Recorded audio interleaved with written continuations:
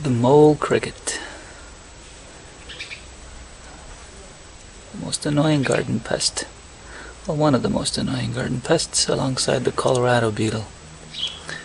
There he is in all its glory.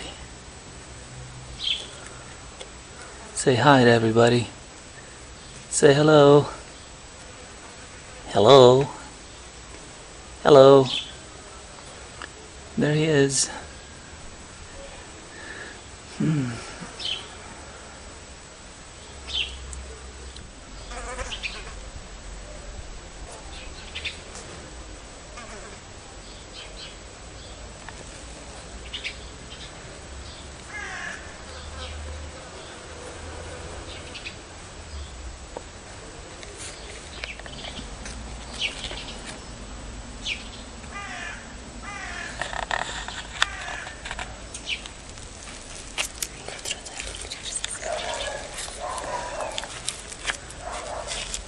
And of course he's gonna do okay if I put him in water.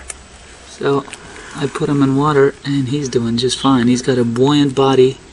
This guy is not gonna drown. Look. I push him underwater, comes right back up.